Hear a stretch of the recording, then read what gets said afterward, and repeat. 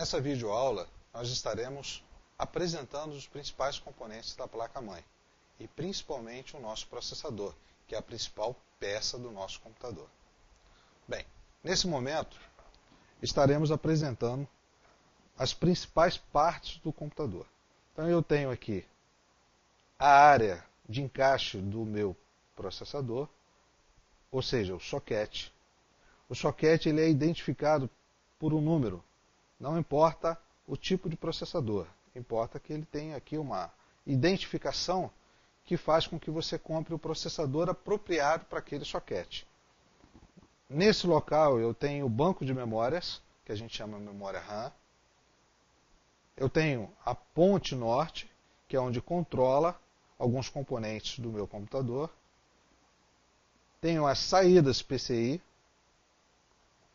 slot da placa de vídeo, conexão da minha fonte ATX, as portas de entrada do meu HD, lembrando que esse HD é do tipo IDE e HD do tipo SATA. Bem, agora nós vamos falar sobre o processador. Observe que eu tenho três tipos de processadores aqui. Ó.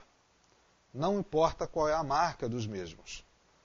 Esse processador, para você encaixar na placa-mãe, ele tem um lado. Esse lado ele está marcado aqui por uma identificação, que é o cuidado que você deve ter ao encaixar o processador no slot. Se você tiver dúvida, além de olhar essa identificação, você pode observar na placa-mãe que possui um chanfro, como é chamado, que é o local que você encaixa as pinagens.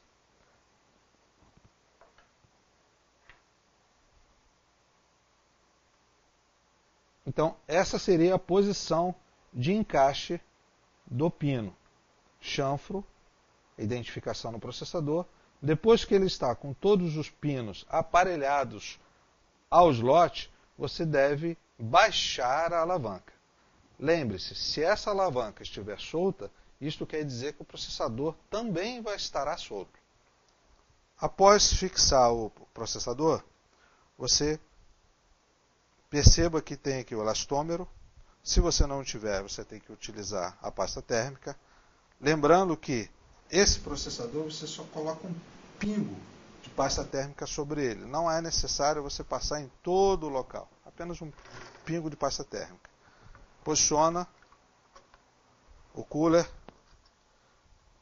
De um lado você vai ter que abaixar a trava de forma que encaixe perfeitamente. Do outro lado, você vai ter que descer o encaixe encaixado, você gira a alavanca e fixa a parte da alavanca. Pronto. Nesse momento, você pode tocar no cooler, virar a placa e verificar se ela está bem encaixada. Bem, bem encaixado o cooler, você vai procurar a conexão elétrica, três pinos, de acordo com a conexão da fonte do cooler, porque podem, ela pode ter quatro pinos. Conector, a placa já está pronta para ir ao gabinete. Neste instante, nós estaremos falando de um problema bastante clássico, que é a utilização da pasta térmica no cooler, que vai sobre o processador. Observe vocês que essa placa-mãe aqui, com o processador, ele está com excesso de pasta térmica. Isso não pode acontecer. A mesma pasta térmica que serve para poder é, diminuir o calor, ela vai fazer com que o próprio processador entre em curto. Nesse instante, eu apresento para vocês dois coolers e que cada um deles tem um formato da pasta diferente um do outro.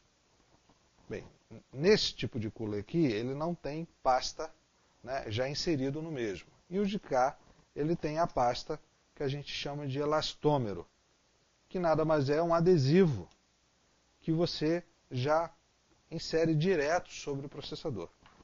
Nesse caso específico, eu tenho aqui ó, a pasta térmica que vem na caixinha do cooler, ou eu posso utilizar a pasta térmica né, que é comprada nas lojas. Observe vocês que o processador que está a seguir, o núcleo dele né, está com pasta térmica. Eu não posso de forma nenhuma deixar que aconteça o que aconteceu nessa placa. Bem, lembrando, o excesso de pasta também prejudica a utilização do mesmo processador.